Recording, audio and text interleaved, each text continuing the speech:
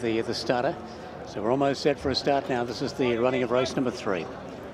Field down to 12 and they're all fully loaded, the gates. They're set.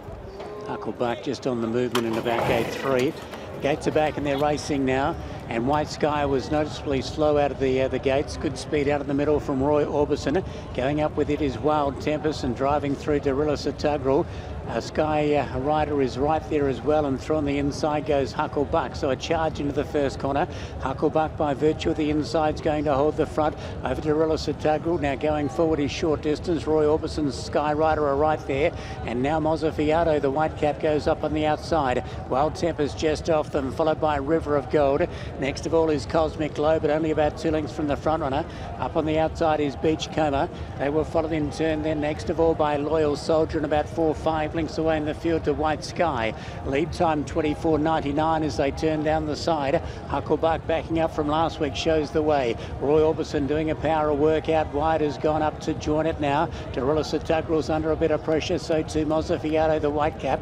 They were followed by Wild Tempest trying to pick up in the red silks. Over on the outside, Beachcomber. Next of all, as they come to the top of the straight is River of Gold, and the rest are headed then by Loyal Soldier as they come to the uh, top of the lane.